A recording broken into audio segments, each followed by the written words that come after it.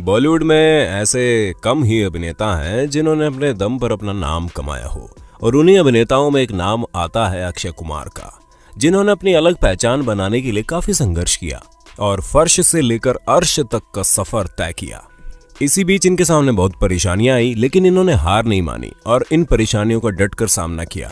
तब कहीं जाकर आज ये इतने बड़े और सफल अभिनेता बन पाए हैं। भारत में ही नहीं, बल्कि विदेशों में भी इनकी काफ़ी बड़ी फ़ैन फॉलोइंग हो गई है।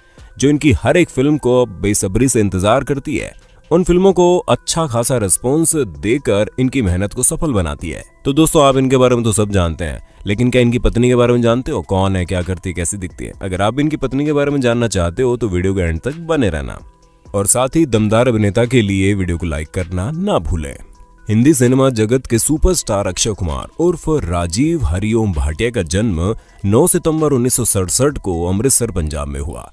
जिसके बाद ये दिल्ली चले गए। जब ये पाँच साल के हुए तो इनका पूरा परिवार मुंबई चला गया। इसलिए इन्होंने शुरुआती पढ़ाई डॉन बॉस्को स्कूल से की। बाद में गुरु नानक खालसा कॉलेज से ग्रेजुएशन की पढ़ाई की। अगर बात करें स्ट्रगलिंग करियर की तो इनकी एक्टिंग में कोई दिलचस्पी नहीं थी, बल्कि उन्हें तो मार्शल आर्ट में ज़्यादा रुचि थी। इसलिए इन्होंने अपने पिता से थाईलैंड जाकर मार्शल आर्ट सीखने की इच्छा जताई। और इनके पिता मान भी गए। वो थाईलैंड गए, पाँच साल वहीं रहकर मार्शल आर्ट सीखा। इस दौरान इन्होंने होटल में बतौर शेफ और वेटर भी काम किया। जब इन्होंने मार्शल आर्ट सीख लिया तो वापस मुंबई आ गए और छोटे छोटे बच्चों को मार्शल आर्ट सिखाने लगे। एक दिन इन्हीं के स्टूडेंट के फादर ने इन्हें देखा जो कि एक मॉडल कोऑर्डिनेटर थे। उन्होंने इन्हें मॉडलिंग करने का ऑफ़र दे दिया, जिसे इन्होंने स्वीकार कर लिया। इसके बाद इन्होंने अपनी करियर की शुरुआत बतौर मॉडल कर ली। इस मॉडलिंग असाइनमेंट में इन्होंने दो दिन में इतने पैसे कमाए जितने पूरे महीने में नहीं कमा पाते थे। इसलिए इन्होंने अब मॉडलिंग करने का मन बना लिया और 18 महीने फोटोग्राफर जे सेठ के साथ बिना पैसे लिए काम किया। ताकि वो इनका अच्छा पोर्टफोलियो बना ले, जिसे लेकर वो बेंगलुरु जाने वाले थे। इनकी फ़्लाइट मिस हो गई, जिसके कारण ये काफ़ी निराश हो गए। जब ये एयरपोर्ट से घर आ रहे थे तो रास्ते में इनकी मुलाकात डायरेक्टर राज सिप्पी से हो गई, जो इन्हें देखकर इतना प्रभावित हुए कि इन्हें अपनी फ़िल्म सौगंध में काम करने का ऑफ़र दे दिया, जिसे इन्होंने स्वीकार कर लिया और बॉलीवुड में अपना कदम रख दिया। इस फ़िल्म में इन्होंने अभिनेत्री रेखा के साथ काम किया, बहुत ही शानदार प्रदर्शन किया, जिसके चलते फ़िल्म सुपरहिट हो गई। ये अपनी पहली फ़िल्म से लोकप्रिय हो गए।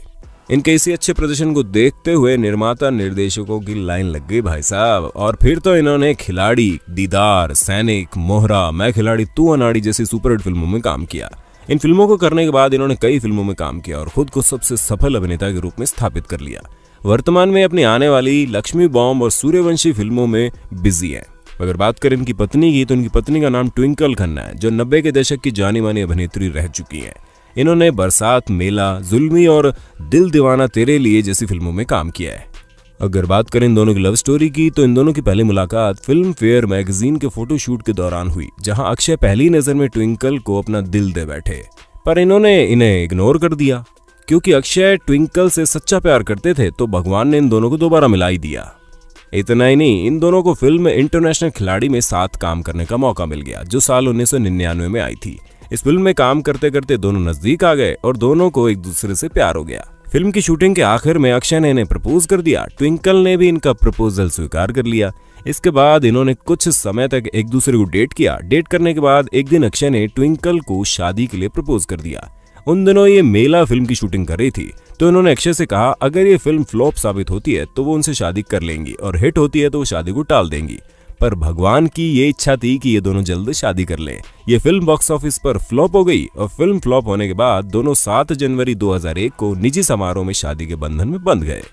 शादी के बाद ट्विंकल ने अपने अभिनय करियर को विराम दे दिया और अपने निजी जीवन में व्यस्त हो गई। ये दोनों अपनी खुशहाल ज़िंदगी बिता रहे थे कि इनकी खुशियों को और बढ़ाने के लिए इनके घर एक प्यारे से बेटे का जन्म हुआ, जिसका जन्म आरव रखा गया। उनके जन्म के कुछ सालों बाद इनके घर नन्नी परी आई, जिसका नाम नितारा रखा गया। आज ये अपने परिवार के साथ खुशहाल ज़िंदगी जी रहे हैं। आपको बता दें, वर्तमान में इन दोनों की शादी को 19 साल हो गए हैं और आज भी इनमें पहले जितना ही प्यार है। तो दोस्तों, आपको इन दोनों की जोड़ी कैसे लगी, अपने राय कमेंट में दीजिए और बॉलीवुड से जुड़ी और भी बातें जाननी है तो हमारे चैनल को सब्सक्राइब कीजिए।